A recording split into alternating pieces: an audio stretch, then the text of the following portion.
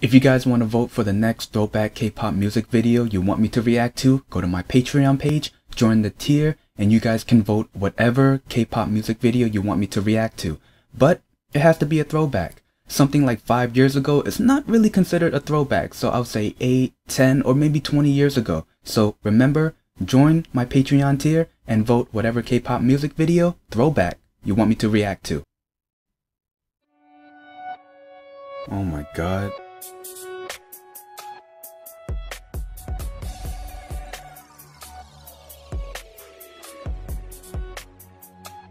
You know, it's a little not in sync that I thought it was.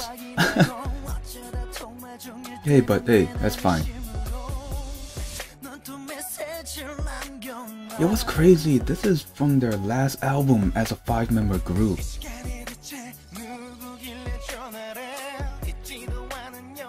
And you wanna know? And you wanna know what's also crazy? I'm gonna be reacting to their first comeback without uh, being a five-member group.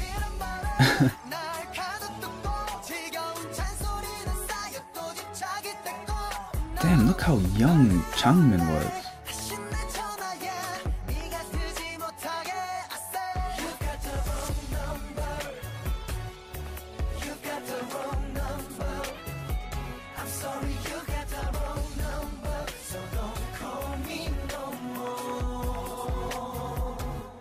Yo, the last time I saw this dance version was probably the first time I saw it. I think it was like 2000.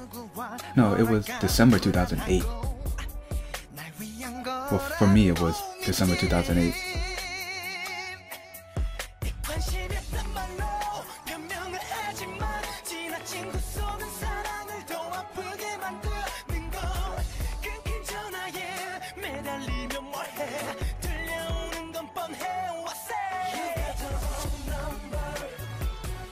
Yo, just the sound of it just screams old school K-pop.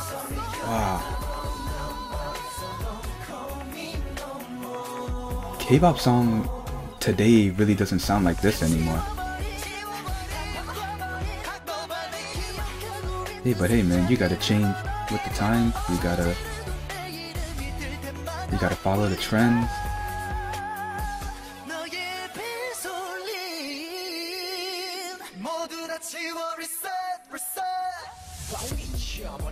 닥쳐 주길 원했다. 너의 그물 속에 바보 같은 fish. 이걸로는 안돼 cash 너의 사랑이 내 살을 도려내 아련해. 오늘 나 머리가 아파와도 다시 환청이 들려와 관심처럼 날 위한 정이라는 곳에 난 그대만의 꼭두가 신호라는 소리에 모두 숨을 죽일 필요가 없는데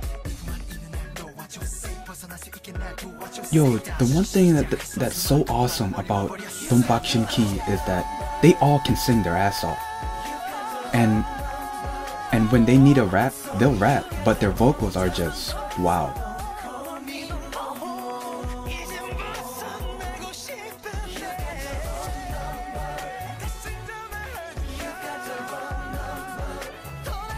Especially Junsu's vocals and Changmin's. Damn.